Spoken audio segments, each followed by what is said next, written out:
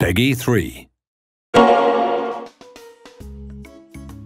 Hello and welcome to this super quick overview of the interior designer feature coming soon to Two Point Hospital.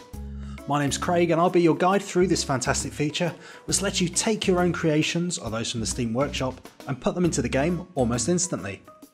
Here's what you can add.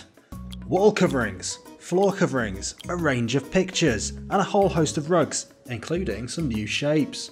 Oh. So let's get stuck in. I'm going to jump into this staff room that I've made and show you how simple this is.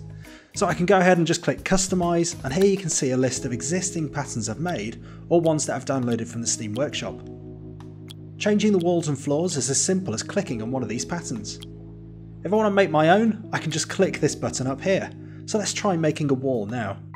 Here we go, so I can give it a name, add a description here, set its cost etc and then to pick the image I just click in this empty space here and grab a file from my hard drive. And in it goes!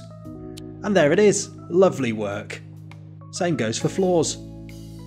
If we want to create a new item, it's a similar process. In the items menu, we click the same button to create a new item.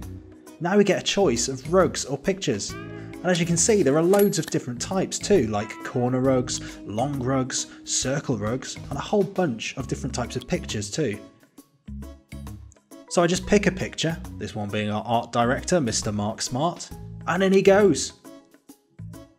Thanks for watching this quick overview. We'll be hosting a series of art masterclass live streams soon to show you how to create your own patterns, so be sure to tune into those on twitch.tv slash Sega. Follow us on Twitter to find out when those will be happening. Interior Designer will be coming very very soon.